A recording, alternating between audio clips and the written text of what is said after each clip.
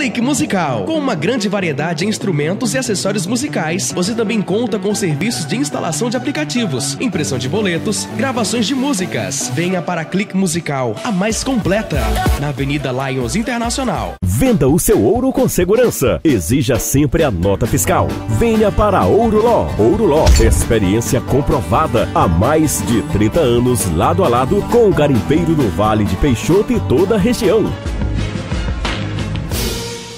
Alguns simpáticos chegaram numa residência na zona rural aqui de Peixoto de Azevedo.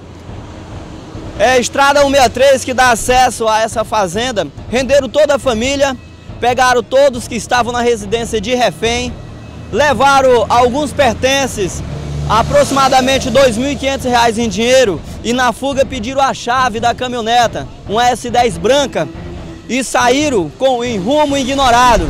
Na manhã do dia seguinte, as pessoas vítimas desse roubo, desse furto, esteve na Polícia Militar para estar confeccionando BO, Boletim de Ocorrência. Isso, na manhã do dia 10 aí, a, a vítima procurou aqui o quartel da Polícia Militar, alegando que no dia 9 havia acontecido um roubo na sua, na sua propriedade, onde os indivíduos chegaram encapuzados, é, pedindo dinheiros e joias. De imediato eles entregaram seus pertences, dinheiro, joias e alguns aparelhos celulares. E na hora que está, amarraram as vítimas e na hora que estavam deslocando para ir embora, é, furtar, é, levaram ainda sua, seu veículo, uma S10 branca. E aproximadamente quanto em dinheiro e como que é essa caminhoneta?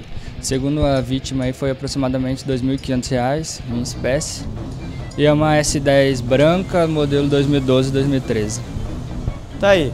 É, pessoas entraram numa residência na zona rural aqui em Peixoto de Azevedo, num sítio, renderam toda a família e levaram alguns pertences, dinheiro e a sua caminhoneta. E o alerta que fica, a caminhoneta S10 branca pode estar transitando mesmo na área urbana ou na área rural de Peixoto de Azevedo, que é produto de furto.